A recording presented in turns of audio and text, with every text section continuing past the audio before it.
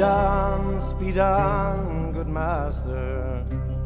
The camp lies far away. We must cross the haunted valley before the close of day. How the snowblind came upon me, I will tell you as we go of the blight of the shadow hunter who walks the midnight snow to the cold December heavens came the pale moon and the stars and the yellow sun was sinking behind the purple bars. The snow lay deeply drifted upon the ridges drear that lay for miles around me, the camphor which we steered was silent on the hillside beside the solemn woods. No sound of life or motion to break this Save the wailing of a moose bird with its plaintive note and low. The skating of a red leaf upon the frozen snow.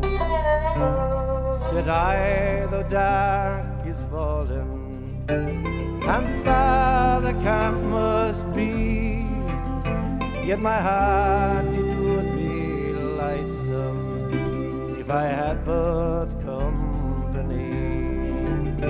Then I sang and I shouted, keeping measure as I tread to the half twang of my snowshoes as they sprang beneath my tread. But far into that valley had I dipped upon my way when a dusky figure rejoined me in a capuchon of gray. Then I sprang on my snowshoe with a long and limber stride. I hailed the dusky stranger as we traveled side by side.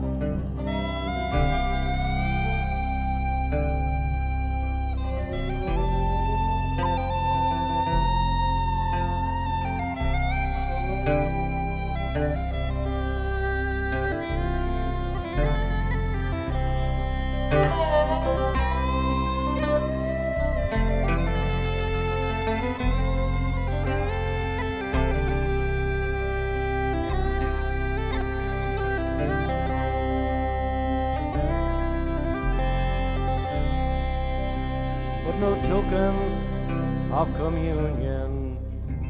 Gave he by word our look, and a fear chill it gathered over me at the crossing of the brook. For I saw by the sickly moonlight as I followed bend and low that the footsteps of the stranger left no marks upon the snow. A fear chill gathered over me like a shroud around me cast as I sank upon the snowdrift where the shadow hunter had passed. And the other trappers they found me just before the break.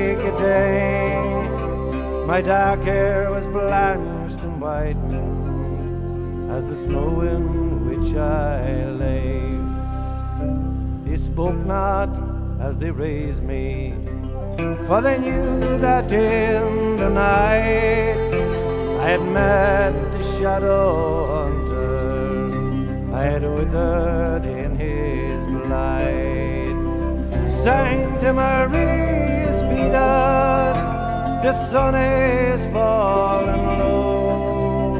Before us lies the valley of the walker